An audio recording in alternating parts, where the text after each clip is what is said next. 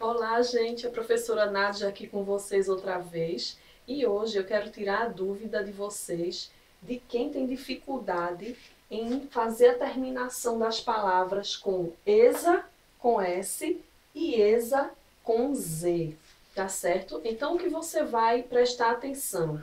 Se a palavra ela está no masculino e você for passar ela para o feminino, você vai passar utilizando ESA com S. Agora, se a palavra ela é um adjetivo, você vai passar ela utilizando o ESA com Z. Então, vamos ver o exemplo. Aqui, olha, camponês é uma palavra no masculino, não é? Então, se você vai passar para o feminino, você vai passar camponesa. Camponesa. Ficou aqui pertinho. Pronto. Aqui, freguês, né? Também está no masculino. Então, vai ficar freguesa.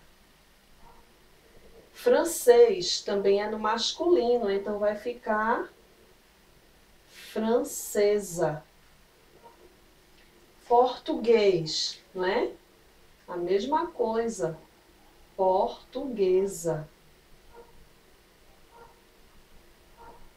E duque, que também é uma palavra no masculino, no feminino é duquesa. Agora vamos ver aqui, olha, os adjetivos. Belo, não é? Beleza com Z. Esperto, que também é um adjetivo. Esperteza. Claro, clareza. Leve,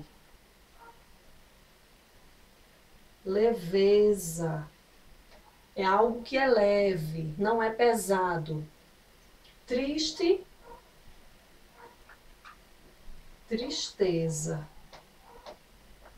Então, a regrinha é essa: é você observar se a palavra está no masculino e quando você for passar para o feminino, você vai passar com a terminação ESA com S. E se a palavra for um adjetivo, você vai passar ela com a terminação ESA com Z. Então, espero ter ajudado. Dê um like aí se você gostou. Deixe aí nos comentários qual é a sua dúvida. Compartilhe com seus amigos e até o próximo vídeo. Tchau!